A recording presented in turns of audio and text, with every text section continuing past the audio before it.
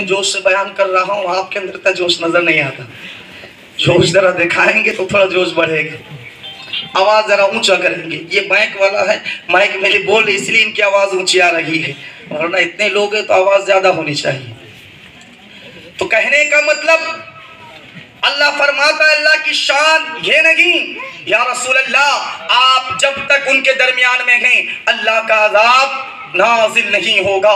तो देखो देखो क्या आज गुनाहें नहीं हो रही हैं। क्या आज अल्लाह के रसूल के फरमान को पामाल नहीं किया जा रहा? क्या अल्लाह आज तो इतनी बड़ी साजिशें की जा रही है? नबी सल्लल्लाहु अलैहि वसल्लम की शान में गुस्ताखियाँ, बेबाकियाँ बकी जा रही है। लेकिन बावजूद इसके बावजूद इसके अल्लाह का अजाब नाजिल नहीं होता। यही दलील है कि आज भी हमारे नबी हमारे दरमियान है। आज भी हमारे नबी ज़िंदा है। आज भी हमारे नबी हयातुल नबी है इसलिए तो हम सुन्नी नारा लगाते हैं। हयातुल नबी आगोमोन शुभेच्छाएँ स्वागतम इसीलिए हम ऐसा नारा लगाते हैं। हमारे नबी न मरे थे न मरे हैं न कयामत तक के लिए मरेंगे कहिए अल्लाह तो दलील है नबी ज़िंदा है नबी ज़िंदा है। वो और होंगे जिनका नबी मर गया हो। वल्लाह हमारे नबी तो ज़िंदा है। आला हज़रत कलम उठाकर बात खत्म कर देते हैं। तू ज़िंदा है वल्लाह तू ज़िंदा है वल्लाह।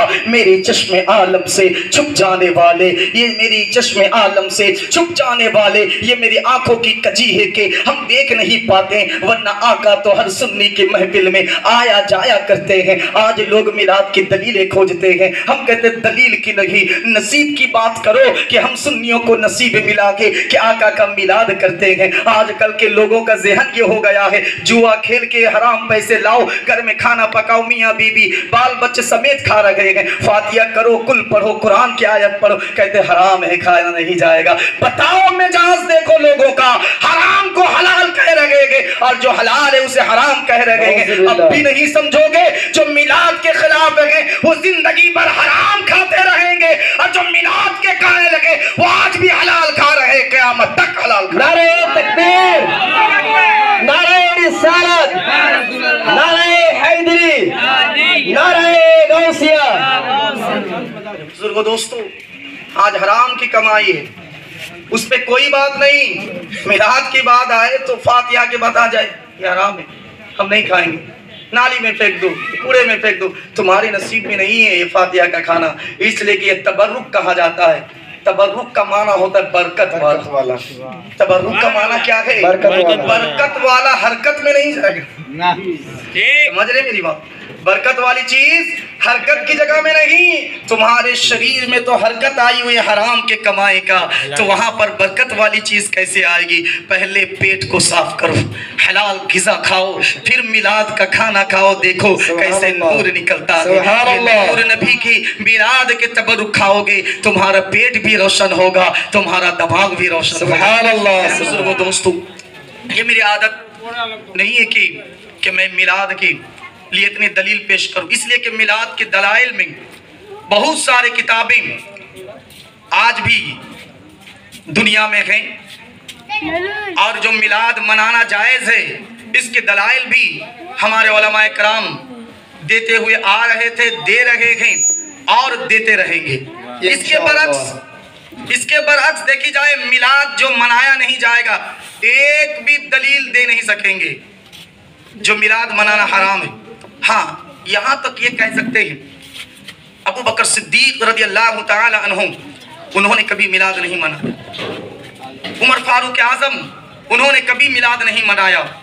उस्मान गनी, उन्होंने कभी मिलाद नहीं मनाया। हम कहेंगे भाई उनकी ज़िंदगी का मुताला सही से करो। उन्होंने तो हम तो कभी कभी मिलाद मनाते महीने में एक एक बार या साल में दो बार मिलाद की महफिल सजा लेते हैं। और जुमा में आओ तो सुन्नी की मस्जिद हो तो भाई कोई भी हो सुन्नी की मस्जिद में हर हफ़्ता मिलाद हो ही जाता है। तो हफ़्ते में एक बार मनाते हैं। सहाबी रसूल तो हर पल पल मिलाद मनाते थे सुभान अल्लाह सहाबी रसूल तो पल पल मिलाद मनाते थे। तुमने मिलाद का माना मफहूम समझा ही नहीं। तुमने मिलाद को समझा ही नहीं। मिलाद क्या है? तुमसे अगर पूछी जाए, कहे ना बिदात है। हम कहें मिलाद कहते किसे? कहते बिदात है। हम कहेंगे भाई, वो तो समझ गए बिदात है, लेकिन मिलाद है क्या? उसे तो भी बोलो, मिलाद की डेफिनेशन क्या है? उसकी तारीफ़ क्या है? ये बताओ। मिलाद के अगर लुगवी माना ले तो जनाब इकबाल अशरफी साहब ने यह बयान किया। आप भी जानते हैं, मिलाद का लुगवी माना पैदाइश है। पैदाइश को बर्थ को मिलाद कहा जाता है। तो हर बंदा उसकी पैदाइश हुई है बगैर पैदाइश का कोई नहीं है। तो पैदाइश को जब अरबी में मिलाद कहते हैं तो हम कह सकते बगैर मिलाद का कोई नहीं। समझ रहे मेरी बात? पैदाइश ही को अरबी में मिलाद। तो बगैर मिलाद का कोई बंदा नहीं हर बंदे का मिलाद हुआ है पैदा हुआ है सिवाय आदम सलाम की। उनकी पैदाइश नहीं हुई उनका मिलाद नहीं हुआ। इसके अलावा जितने अम्बिया सहाबा जितने इंसान हैं सबकी पैदाइश हुई है। तो जब बेशक। सबकी पैदाइश है तो सब का मिलाद हुआ है खुद मिलादी होकर मिलाद को बिदात कह रहे हैं। ये सोचने की बात है। खैर ये तो लुगवी माना हुआ। और इसके इस्तिलाही माना अगर ली जाए तो मिलाद क्या है मिलाद का मतलब ये होता है कि हम एक महफिल सजाएँ जिसमें आका करीम की सना अल्लाह तबारक व की ज़िक्र अस्कार की जाए उसमें तबरुकात रखी जाए और उसमें मोमिन मोमिनात के लिए दुआएँ की जाए उसमें दुरूद भी हो सलाम भी हो इसे कहा जाता है मिलाद कहिए सुबह अल्लाह इसे उर्फ़ में मिलाद यही रायज हो चुका आगे। दुरुश्र पढ़े अल्लाह अल्लाहुम्मा सल्ली अला सय्यिदिना मौलाना मुहम्मद व अला आले मौलाना मुहम्मद। रब सल्लि व सल्लिम बारिक मेरे बुज़ुर्गों दोस्तों तो ये मिलाद इसकी दलील तो बेशुमार है। एक भी दलील कोई पेश कर नहीं सका आज तक कि मिलाद नाजायज है या हराम है। कुरान हदीस से नहीं। हाँ ये लोग कह सकते हैं कि जब नबी करीम सल्लल्लाहु अलैहि वसल्लम मक्का में पैदा हुए तो क्या उस वक्त मक्का वालों ने जश्न मनाया? कह सकते हैं। हम कहो भाई, तुम्हारा हक है कहने का। जवाब लेना भी, देना भी हमारा हक है। तुम सवाल कर सकते हो। हमें जवाब देना भी ज़रूरी है। कहेंगे, क्या जब नबी जो मक्के में पैदा हुए थे, मक्के वालों ने क्या मिलाद मनाया, जश्न मनाया, खुशी मनाए उन्होंने? हम कहेंगे, मौलाना, ये बताओ, जब नबी मक्का में पैदा हुए थे तो उस वक्त में मक्का में कितने लोग मुसलमान थे?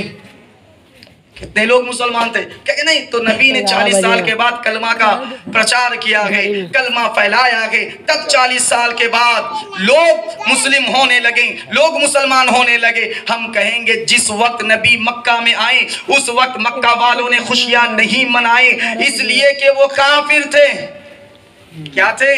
काफिर थे। काफिर थे नबी आए काफिरों को खुशी नहीं हुई। और यहाँ देखो, जब मक्का से हिजरत करके मेरे प्यारे आका मदीना जा रहे हैं। मदीना तशरीफ़ ले जा रहे हैं। तो मदीने के सहाबी, अंसारी सहाबी जितने सारे थे, सारे के सारे अपने घर से बाहर आ गए। यहाँ तक कि एक दिन, दो दिन, तीन दिन, चार दिन नहीं, बल्कि नौ दिन से आका करीम की आमद की इंतज़ार कर रहे थे और वहाँ के बड़े, वहाँ के हबशी, वहाँ के गुलाम और बच्चों के हाथ में दफ दे दिया गया और सारे पढ़ने लगे। तोलाल बदरू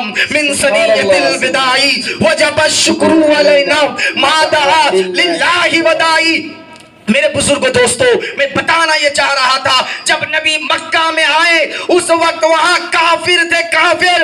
इसलिए उन्होंने खुशियाँ नहीं मनाए लेकिन जैसे ही नबी मक्का से हिजरत करके मदीना जा रहे हैं तो मदीना वालों से पूछो आज इतनी खुशियाँ है क्यों खुशियाँ है इसलिए कि नबी आ रहे हैं नबी आ रहे हैं तो पता चला नबी की आमद पर नबी के आने पर काफिर खुशियाँ नहीं मनाते जो मोमिन होगा वही खुशियाँ मनाता रहेगा। नाराय अल्लाह। नाराए तकबीर। नाराय रिसालत।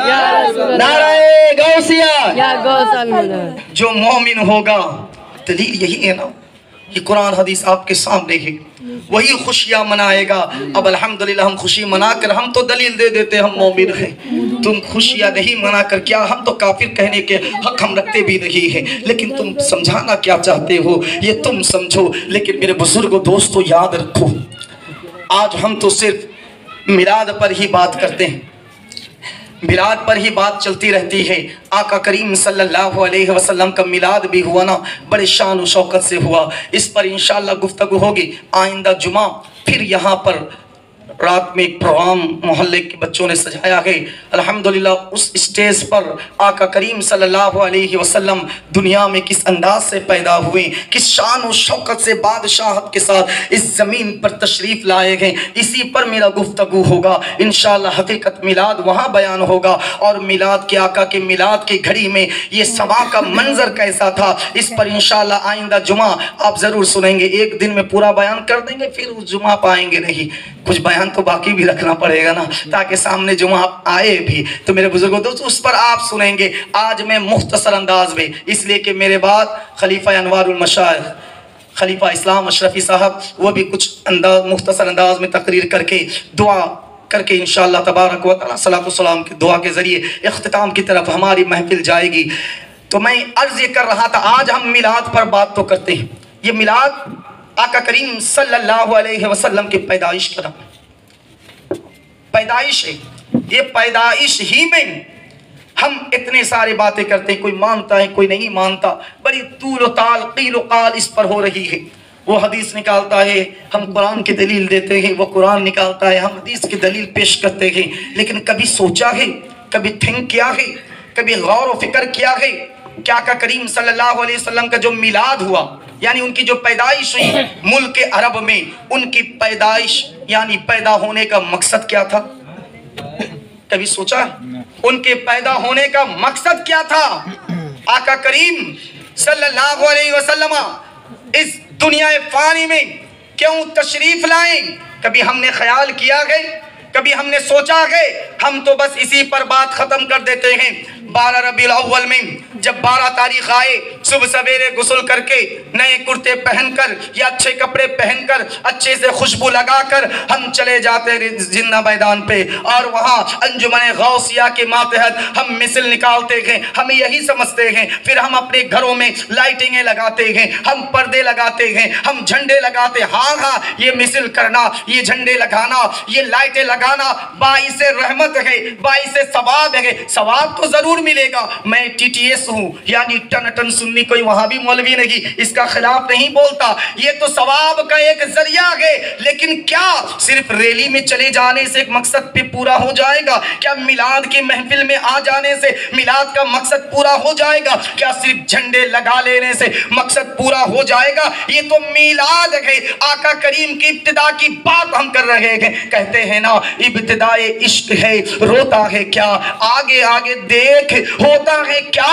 मेरे बुज़ुर्गों, दोस्तों, ये आका करीम के मिलाद की बात है, लेकिन जब मिलाद में इतनी बरकत है ना तो आका करीम सल्लल्लाहु अलैहि वसल्लम की पूरी ज़िंदगी की बात और कितनी निराली होगी। आज देखो, आका करीम सल्लल्लाहु अलैहि वसल्लम, ये जब दुनिया में आए नहीं थे, यानी उनका मिलाद नहीं हुआ था, आका का दुनिया में आना यही मिलाद है। इसे माइंड में बैठा ले कि कोई बात मेरी पूरी इस पर होगी। आका करीम के दुनिया में आना यही मिलाद रहे, इसको जहन में अपना बिठा ले। मैं बार बार ये लफ्ज दोहराऊँगा ताकि आपके जहन में ये बात अच्छी तरीके से बैठ जाए। मेरे बुज़ुर्गों, दोस्तों, ख्याल करें, जब मेरे नबी का मिलाद नहीं हुआ था, तब ये जमाने का हालत क्या था? ये जमाना का आलम क्या था? इंसान तो थे, लेकिन इंसानियत नहीं थी। लोग तो शक्ल में इंसान थे, लेकिन जानवरों से भी गैर गुजरे लोग थे।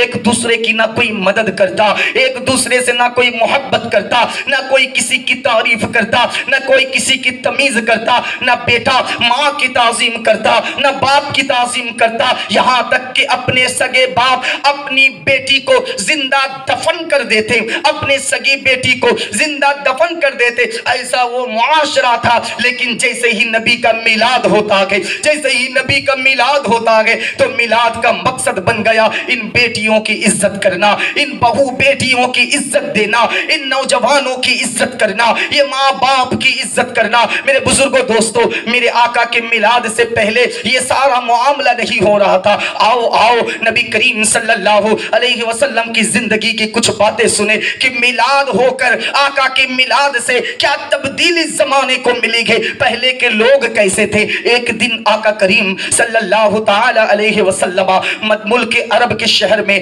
वो मक्का शहर में आका चले जा रहे हैं। आका चले जा रहे हैं। खूबसूरत नौजवान नौजवान पर उनकी नज़र पड़ जाती है। उस नौजवान का नाम है हज़रत दहिया कलबी। हज़रत दहिया कलबी इतने खूबसूरत इतने खूबसूरत कहते हैं ना, खुदा जब हुस्न देता है, नजाकत आ ही जाती है। आजकल लोग अपनी खूबसूरती पर बड़े इतराते हैं कि मैं खूबसूरत हूँ, मेरे मुझ पर इतने लड़कियाँ फिदा है, मैं चलता हूँ तो ये होता है। एक बात बोलते हैं तो इतने सारे रिप्लाई आते हैं। कहते हैं ना, खुदा हुस्न देता है, नजाकत आ ही जाती है। तो मामला ऐसा ही था। हज़रत दहिया कलबी रदी अल्लाह अन्हु, वो इतनी खूबसूरत थे, इतनी खूबसूरत थे कि शेख मुहद्दिस हक दहलवी रहमतुल्लाह ताला लिखते हैं कि कि अरब के औरतें, अरब के लड़कियाँ अपनी खिड़कियों के पास आ जाती, अपने दरवाजे के पास आ जाती। हज़रत दहिया कलबी को देखने के लिए शेख मुहद्दिस हक दहलवी कहते हैं ना, कि शेख मुहद्दिस हक दहलवी कहते हैं,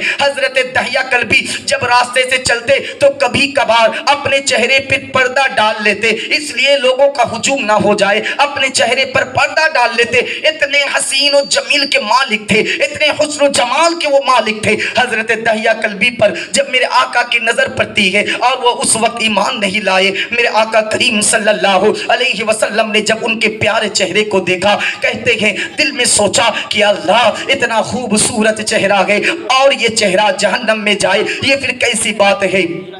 आका करीम सल्लल्लाहु अलैहि वसल्लम हज़रत दहिया कलबी को बुलाते हैं। कहते, दहिया, यहाँ आओ। आते हैं। आका करीम उसे कलमा की दावत देते हैं, इस्लाम की दावत देते हैं, लेकिन वो ना बगैर चुओ चिरा के वहाँ से चले जाते हैं। कुछ नहीं कहते, कुछ नहीं कहते। जब रात आई, मेरे आका करीम अपने दस्ते रहमत को उठाते हैं, अपने दोनों हाथ को उठाते हैं। अल्लाह की बारगाह में फरियाद करते हैं। मौला, जिसका चेहरा इतना प्यारा है, मौला, उसे तू जहन्नम न दे, उसे जहन्नम न दे। मौला बल्कि तू उसे जन्नत अता कर दे, उसे तू हिदायत दे दे और नबी जिसके लिए दुआ कर दे, उसे हिदायत फिर कैसे न मिले, उसे हिदायत फिर कैसे न मिले। मेरे बुज़ुर्गों, दोस्तों, दूसरे दिन ही सवेरे जब आका करीम सहाबियों के दरमियान बैठे हुए थे, हज़रत दहिया कलबी तशरीफ़ लाने लगे। आका की करीम, आका करीम की नज़र जैसे ही दहिया कलबी पर पड़ने लगी, आका समझ गए, अल्लाह ने मेरी दुआ को कबूल कर ली है और इसे हिदायत मिल गई है। आका करीम अपनी चादर मुबारक, अपनी कमली मुबारक बिछा देते हैं दहिया कलबी के लिए। कितना खुश नसीब है दहिया कलबी, जिसके लिए मेरे आका ने अपनी चादर को बिछा दे, जिसके लिए मेरे आका अपनी चादर अनवर को बिछा दे। हज़रत दहिया कलबी आते हैं, तशरीफ़ लाते हैं, देखते क्या है? क्या आका ने अपनी चादर बिछा दी है? दहिया कलबी रोने लगे, कहते, या रसूल अल्लाह या हबीब अल्लाह फिदा का उम्मी व या रसूल अल्लाह मेरे माँ बाप आप पर कुर्बान हो, या रसूल अल्लाह दहिया कलबी की औकात नहीं, दहिया कलबी की ये हैसियत नहीं है कि आपकी चादर पर दहिया कलबी के कदम हो, बल्कि दहिया कलबी की हैसियत तो ये है कि आपके कदम के नीचे उसे थोड़ी सी जगह मिल जाए। मेरे बुज़ुर्गों दोस्तों, मेरे बुज़ुर्गों दोस्तों, हज़रत दहिया कलबी रदी अल्लाह अन्हो, अब वो चादर लेते हैं, सीने से लगाकर आका को देते हैं, आका करीम के हाथों पर हाथ रखकर कलमा पढ़ के मुसलमान हो जाते हैं। वहाँ पर सारे लोग, वहाँ पर सारे सारे लोग खलीफा साहब आ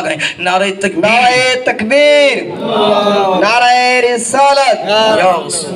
नारे रिसालत।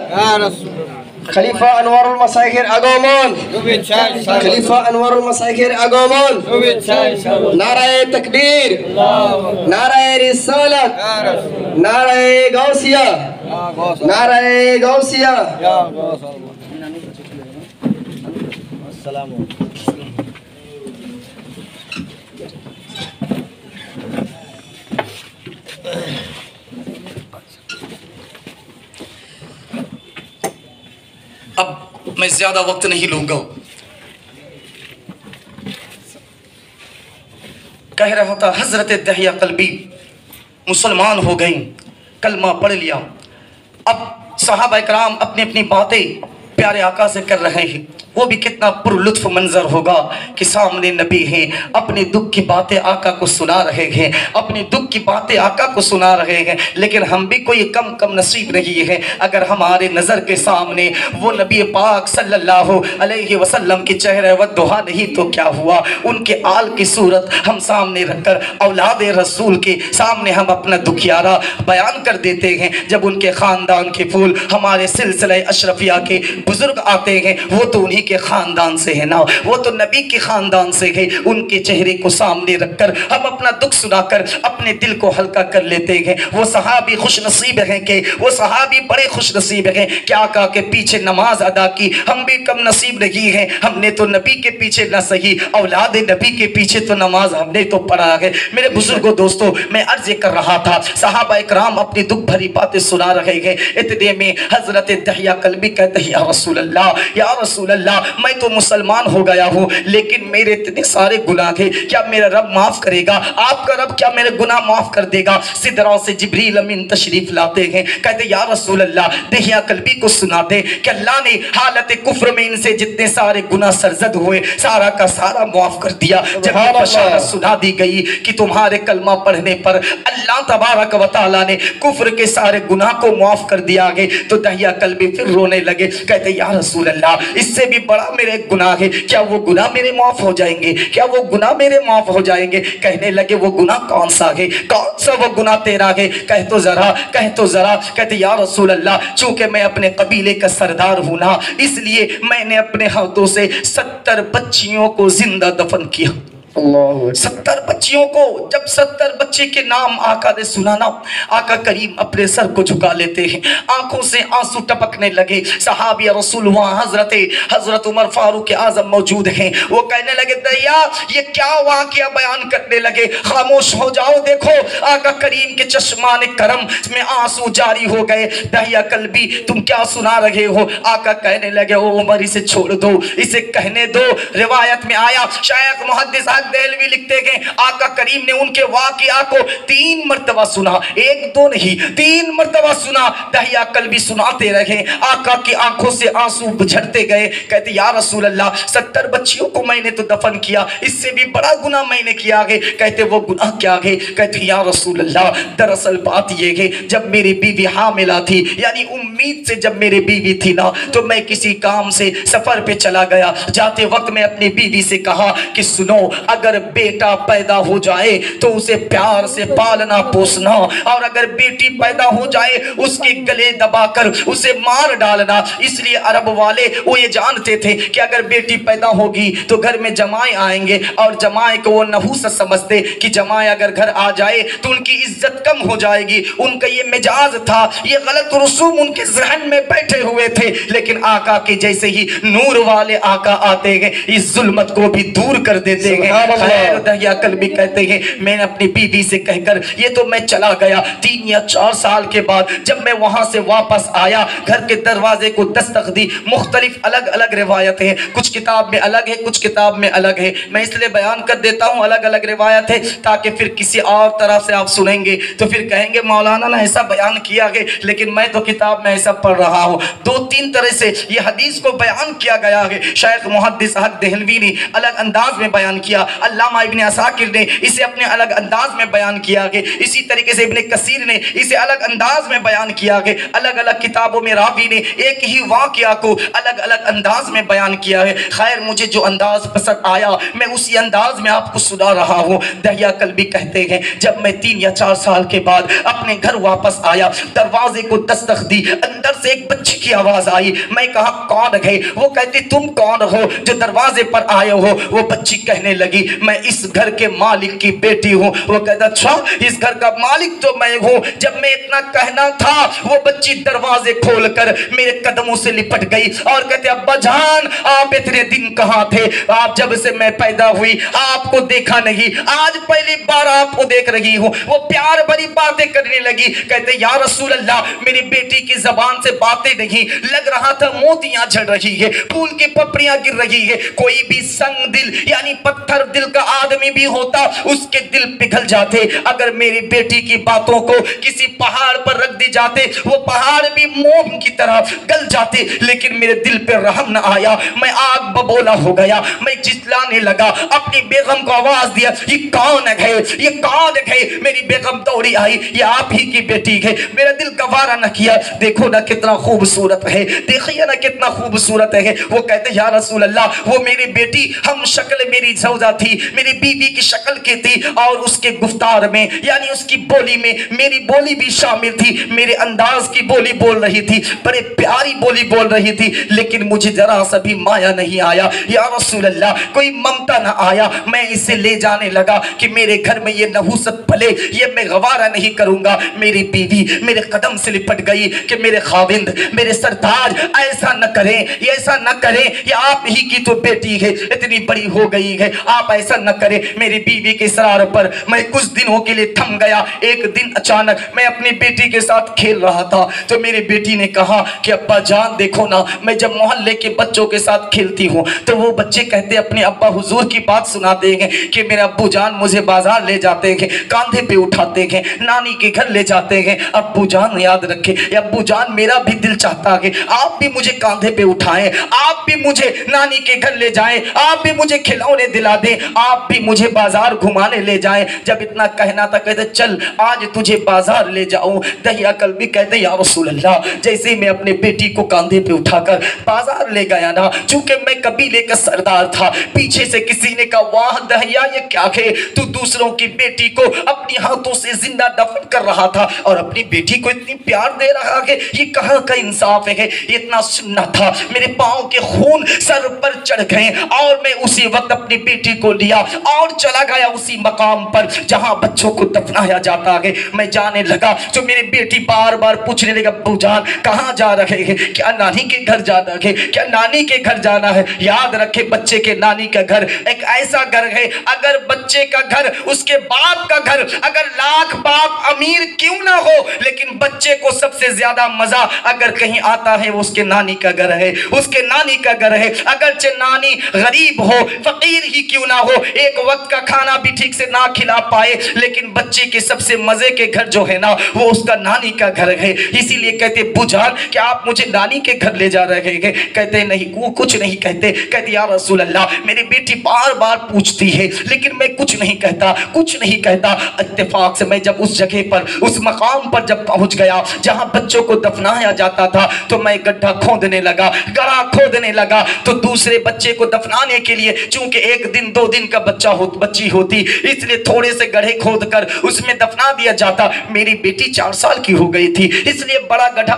गढ़ा खोदने की ज़रूरत थी। इसलिए मैं काफ़ी देर से जब गढ़ा खोदने लगा, मेरी बेटी कहते, अब्बू जान, इतनी तपिश धूप में आप क्यों काम कर रहे हैं? कुछ देर साये में आराम कर ले। लेकिन मैं उसका एक न सुना, एक न सुना कुछ देर बाद मेरी बेटी उठती है और अपने छोटे कपड़े दुपट्टे से मेरे सर के पसीने को पोछती है, मेरे सहरे चेहरे के गर्दो गुबार को साफ़ करती है। कहते, अब्बू जान, कितने देर मेहनत करेंगे? आराम तो कर ले, आराम तो कर ले। कहते हैं, मैं कुछ ना कहा, सिर्फ़ इतना कहा, जाओ यहाँ से, जाओ यहाँ से मुझे अपना काम करने दो। जब मैंने ये कहा तो मेरी बेटी अपने नन्नी नन्नी हाथ से मेरे गड्ढे खोदने में उसने भी अपना हाथ डाल दिया और वो भी इसमें शरीक हो गई। जब गड़ा खुद गया। तो मैं अपने बेटी के चेहरे को देखा तो मेरी बेटी मुस्कुरा रही थी। तो मैंने पूछा, क्यों मुस्कुरा रही हो? कहते, मेरा दिल इत्मीनान हो गया। अब्बू जान, अब आपके काम खत्म हो गए ना, इसलिए मेरे दिल को सुकून हो गया। अब मेरे अब्बू को आराम मिल जाएगा। या रसूल अल्लाह मेरी बेटी की इतनी प्यारी प्यारी बात। अगर पहाड़ पर रख दे जाते, पहाड़ मोम की तरह गल जाते, लेकिन मेरा संग दिल न गला। या रसूल अल्लाह मेरी बेटी को समझ न आया। आखिरकार मैं उसे, उस गड़े में जब डालना शुरू किया। तो मेरी बेटी समझ रही थी, अब्बा जान मुझसे खेल रहे हैं, लेकिन मेरा मकसद कुछ और था। जब मैंने उसे, उस पर मिट्टी डालना शुरू कर दिया, यहाँ एक रिवायत में अगर बयान न करूँ तो न होगा। कहते, या रसूल अल्लाह मेरी बेटी बार बार इसरार करने लगी कि अब्बू जान क्यों मुझे मार रहे हैं? क्यों मार रहे हैं? अगर आप चाहें तो आज के बाद मैं जिद न करूँगी, मैं आपको बाज़ार ले जाने को न कहूँगी। अब्बू जान, मैं ना आपको खिलौने दिलवाने की बात करूँगी, ना ही नानी के घर ले जाने को कहूँगी, अबू जान मुझे न मारे अब्बू जान मुझे न मारे, क्यों ऐसा करते हैं? ऐसा कह रही है बार बार कह रही है। एक रिवायत भी आया कि वो कहते या रसूल अल्लाह या मैं अपनी बेटी की बात सुनकर मेरे कानों में जब असर पड़ने लगा, मैं ये सोचने लगा, जब तक ज़िंदा रहेगी ना, इसे मैं दफन दे नहीं सकूँगा। इसलिए मैं इतना बड़ा पत्थर उठाया और अपने बेटी के सर पे दे मारा। वो मर गई और मैं उसे दफना कर आ गया। और दूसरी एक रिवायत में आया है कि मैं जब उसके चेहरे तक, उसके सीने तक जब मिट्टी डाल दिया तो वो बच्ची कहने लगी, मौला, कब तक बेटियों पर जुल्म होगा? तेरा जो वादा है, हम बेटियों की मसीहे को भेजने का, मौला वो मसीहा नबी भेज दे, मौला वो मसीहा नबी भेज दे। या रसूल अल्लाह सल्लल्लाहु अलैहि वसल्लम, मैं अपनी बेटी को दफना कराया। आका करीम उनकी बातों को सुन रहे थे। शेख मुहद्दिस देहलवी कहते हैं कि जब नबी सल्लल्लाहु अलैहि वसल्लम, जब इस दहिया कलबी की ये बातें सुन रहे थे तो यहाँ रो भी रहे थे और अपने हाथ से तवज्जो है ना? अपने हाथ से दहिया कलबी के सीने को यूँ मार रहे थे, दहिया क्या किया तूने? दहिया क्या किया तूने? दहिया क्या किया तूने? यूँ मार रहे थे और रो रहे थे, दहिया क्या किया तूने? फिर जब दहिया कलबी की बात खत्म हो गई, तीन मरतबा इस वाकिया को आका ने सुना। फिर आका करीम अपने चेहरे मुबारक उठाते हैं और अपने हाथ को यूँ बुलंद करके ये दो उंगलियों का इशारा करते हैं और कहते सहाबियों, सुनो, अल्लाह ने मुझे बेटी का बाप बनाया है। अल्लाह ने मुझे बेटी का बाप बनाया है। सुन लो तुम में से कोई अगर अपने बेटी की सही परवरिश कर ले जन्नत में अल्लाह उसे मेरे साथ ऐसा रखेगा जैसे मेरे ये दुंगलियों एक जगह है।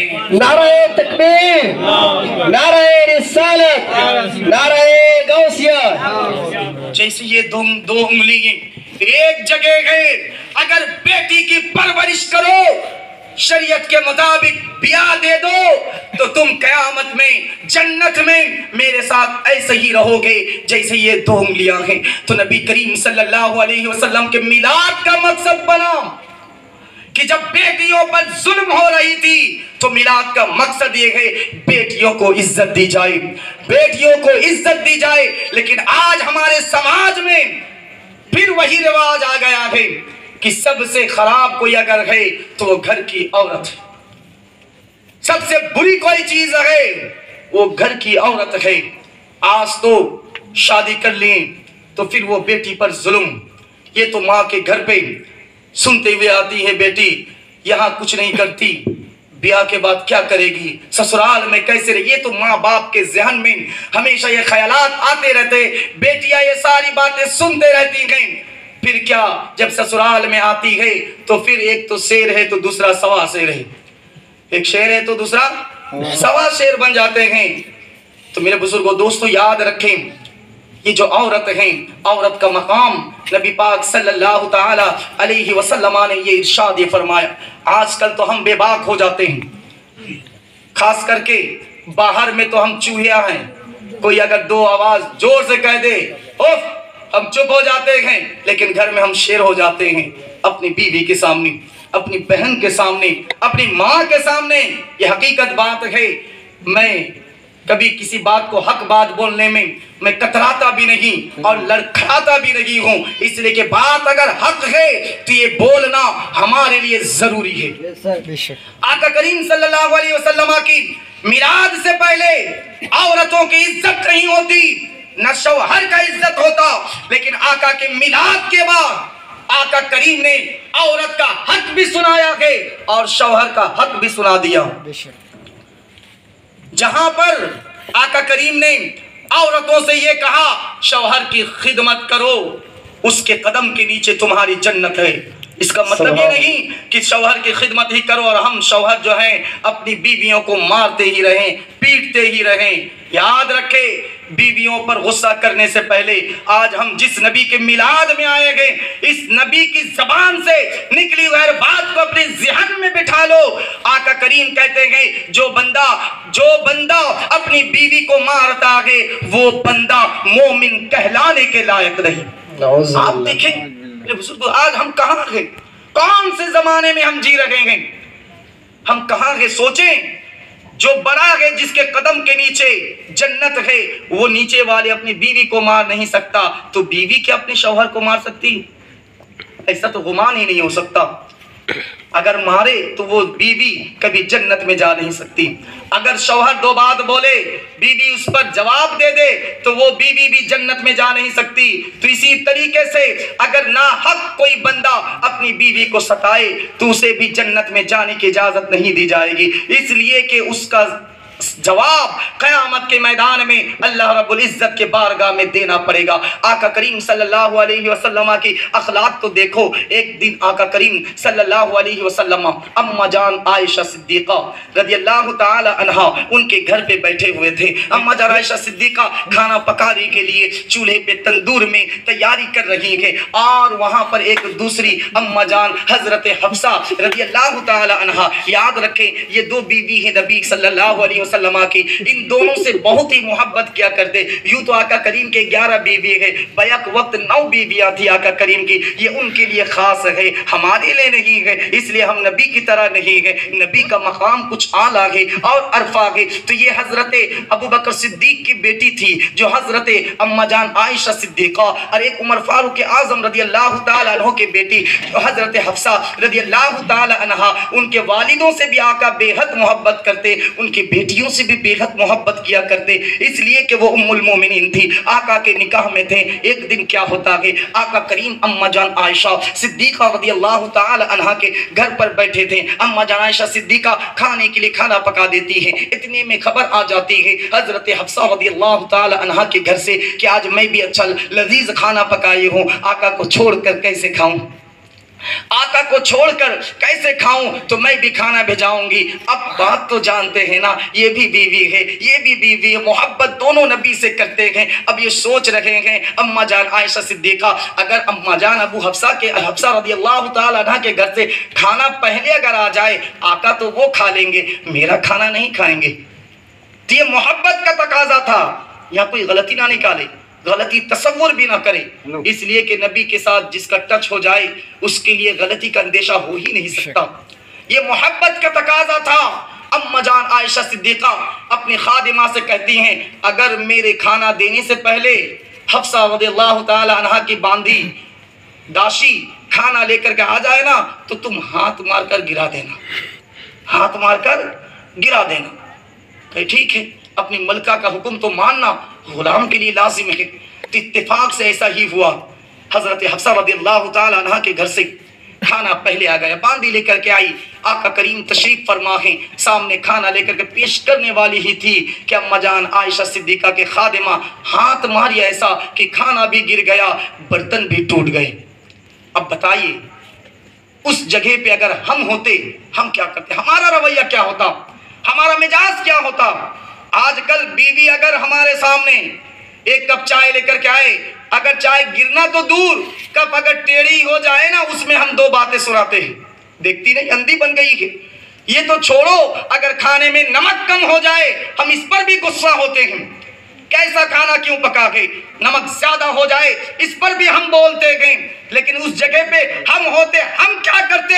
आज हम जिस नबी के मीलाद पे आए गए उस नबी हम इंसानों को इंसानियत सिखाने के लिए इस धरती पे तशरीफ़ लाए। अल्लाह ने उन्हें इंसानियत सिखाने के लिए हमें भेजा है। अल्लाह तबारक व ताला के वो प्यारे हबीब कह, करते क्या है? जब देखते हैं कि एक गुलाम दूसरे गुलाम के खाने को गिरा देते हैं। अम्मा जान आयशा सिद्दीका कहती है क्या का करीम सल्लल्लाहु अलैहि वसल्लम को मैंने देखा? न मुझे कुछ कहा न मेरे बांदी को कुछ कहा बल्कि आका उठते हैं और खाना खुद से समेटने लगते हैं। किसी को कुछ नहीं कहा बल्कि खुद से खाना समेटने लगे। और समेटने के बाद से कितना कहा आयशा ये तुम्हारी गैरत थी के यानी मोहब्बत में कहूँ आसान अल्फाज आप समझ लेंगे गैरत कुछ और माना ना ले लें। कहती है तुम्हारी ईमान की गैरत थी के कि तुमने ऐसा करवाया अब तुम पर ये लाजिम बनता है कि तुम उसका बर्तन जो टूट गया है नया खरीद के उसे वापस कर दो कहिए सुबह। बस इतना ही और ना कोई डांटा न कोई कुछ कहा बल्कि आका करीम सल्लल्लाहु अलैहि वसल्लम ने ये दर्स हमें दिया है अगर किसी से गलतियाँ हो भी जाए ना जान कर या अनजान जान कर या अनजान में भी तो उसे खुद से सुधार लो। वो भी कैसे हैं? बल्कि शरीयत में तो ये आया है कि आजकल लोग तो ऐसा मारते हैं। शौहर भी मारता यहाँ बीवी भी आजकल तो हाथ उठा देती है। अल्लाह अकबर। बीवी शौहर पर हाथ उठाए, ये फिर कहाँ का गए बीवी अगर अपनी आग के बद, अपनी आग के बद खराब करना चाहती है तो शौहर से ऊँचा बोले, अगर वो चाहती है, मेरी आखिरत खराब हो और मैं जहन्नम में जाऊँ तो अपने शौहर से ऊँची बोली बोले।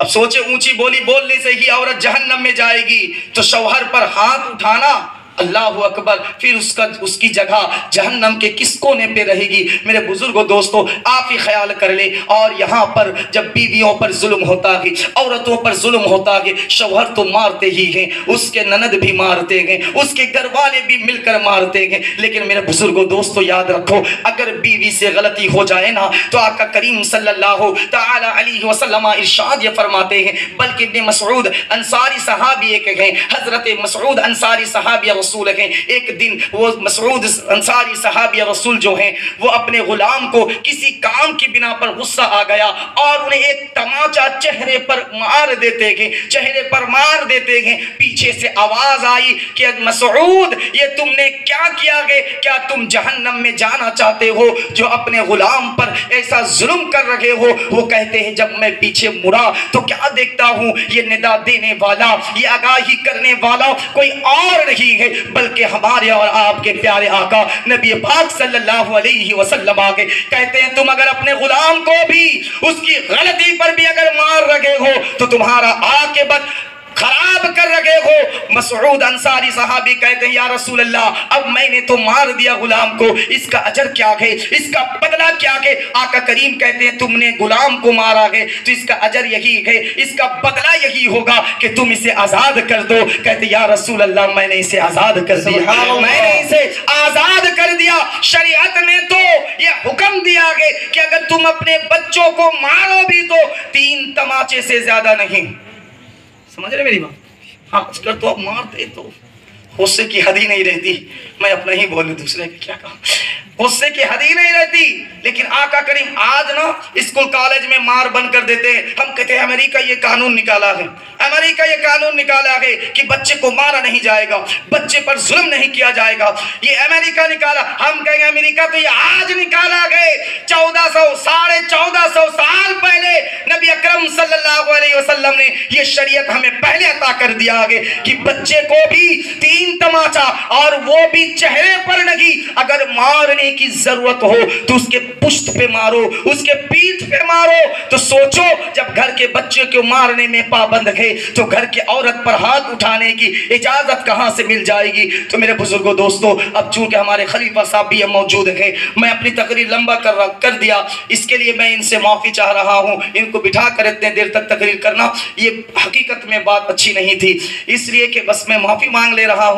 इसलिए कुछ फरमाइश ये थी कि, कि नबी करीम सल्लल्लाहु अलैहि वसल्लम के अखलाक के बारे में इतने दिन हम तो मिलाद के बारे में सुनते हुए आ रहे थे लेकिन मिलाद के मकसद पर हमारा बयान नहीं हो रहा था। सिर्फ़ मिलाद मना लेने से नहीं होगा मिलाद के मकसद पर भी आना होगा। रसूल करीम सल्लल्लाहु अलैहि वसल्लम दुनिया में आकर हम इंसानों को इन इंसानियत सिखाया है अगर हम उस इंसानियत पर कायम है तो ही हम हकीकी नबी के उम्मती हैं। और अगर आज भी हमारे दिल के अंदर वो इंसानियत नहीं है, वही जुए के अड्डे, वही कल्याण में फंसे हुए, वही थाई गेम में फंसे हुए, और वही झूठ की बात, यहाँ की बात वहाँ करो, वहाँ की बात यहाँ करो, यानी जिसे मुनाफिकत कहते हैं। और कहा जाता है, इन्नल मुनाफिकीना फिर दरकिल असफल मिन नार यूँ तो जो अल्लाह को नहीं मानते हैं ना, वो तो जहन्नम में जाएँगे ही लेकिन जो मुनाफिक होंगे ना यानी यहाँ की बात वहाँ यानी झगड़ा लगाने का काम। झगड़ा लगाने का काम आसान लफ्ज में। झगड़ा लगाने का काम जो करते हैं यहाँ की बात वहाँ वहाँ की बात वहाँ। कुरान कहता है काफिर जिस जगह में रहेंगे उससे भी ज़्यादा नीचे वो मुनाफिक। उससे भी ज़्यादा नीचे ये मुनाफिक। रहेंगे। तो लिहाजा तो अल्लाह तबारक व से यही दुआ है कि रसूल पाक सल्लल्लाहु अलैहि वसल्लम के मिलाद की महफिल में हम आए हैं। और उनके फरमान के मुताबिक, उनके मिलाद का मकसद ये था, ये निफाक को दूर किया जाए, ये मुनाफिकत को दूर किया जाए, ये इंसानियत के दुश्मन को दूर किया जाए, मार दिया जाए और इंसानियत को ज़िंदा कर दिया जाए, जो भाईचारे में मोहब्बत ना थी, आका ने मोहब्बत डाल दी। बल्कि मैं तो ये कहता हूँ कि आज मिलाद में आते हैं, नारे लगाते हैं। सरकार की आमद कहती इसी पर हम ख़त्म कर देते हैं। हमारे मिलाद का मकसद तो ये होना चाहिए था, ये होना चाहिए था कि हम मिलाद से उठे और अपने बाप के पास जाएँ और उनके कदम को पकड़ के कहे, अब्बू, माफ़ कर दे। कहेंगे, अब्बू तो माफ़ तो करने वाले ही हैं। कहेंगे, क्या हो गया आज तुझे? कहेंगे, अब्बू, जान, माफ़ कर दीजिए। हम नबी के मिलाद से आ रहे हैं। और जिस नबी के मिलाद में गए थे ना, उसी नबी का फरमान है, जिसका बाप राज़ी, उसका रब राज़ी। जिसका बाप राज़ी, उसका रब राज़ी है। यही मिलाद का मकसद होना चाहिए कि हम मिलाद से उठे, अपनी माँ के कदम से लिपट कर माफ़ी मांगे, अम्मी जान, माफ़ कर दे। माँ तो ममता की मूरत होती है। माँ तो कहेगी, बेटा, तूने कुछ किया ही नहीं। किस बात की माफ़ी? लेकिन आज तुझे ये क्या हो गया है? तू माफ़ी मांग रहा है। कहेगा, अम्मी जान, मैं मिलाद से आ रहा हूँ। उस नबी के मिलाद जो हमारे सैयदपुर में एक बार नहीं एक ही रैली से लोग चल रहे थे। अब तो दो दो रैली होने लगे। अल्लाह करीम उस नबी के मिलाद से मैं आ रहा हूँ और उसी नबी का फरमान सुनकर आ रहा हूँ कि अल्लाह ने जन्नत को माँ के कदम में रखा कि जिसकी माँ राज़ी है उसका जन्नत पक्का है। अम्मी जान माफ़ कर दे। मैं कहता हूँ मिलाद का मकसद यही होना चाहिए था। अगर आपके भाई अगर आपसे नाराज़ हैं उठे जाएँ उनसे गले मिल जाए। कहते हैं कि मैं उस नबी के मिलाद से आया हूँ, जिस नबी के हम उम्मती हैं और हमारे नबी का फरमान ये है जिससे उसका कोई मोमिन भाई, दूसरा अपना भाई तो छोड़ो, कोई भी मोमिन भाई अगर नाराज़ रहे तो उसका रब भी उससे राज़ी नहीं होता। लिहाजा पहले अपने भाई को राज़ी कर लो, फिर तुम रब के ठिकाने पर जाना, फिर तुम रब को राज़ी करने पे जाना। मेरे बुज़ुर्गों दो तो आज मिलाद का मकसद तो है, लेकिन हम मिलाद के मकसद पे अमल नहीं करते, सिर्फ़ मिलाद की जायज़ और नाजायज़ पर ही बात करके हम ख़त्म कर देते हैं। मिलाद तो जायज़ है लिहाजा उसकी दलील भी दे दिया। अल्लाह तबारक व ताली हम तमाम को मिलाद के साथ ही साथ इस मिलाद के मकसद पर भी अमल करने की तौफीक अता फरमाए। आमीन। आमीन। वमा अलैना इल्लल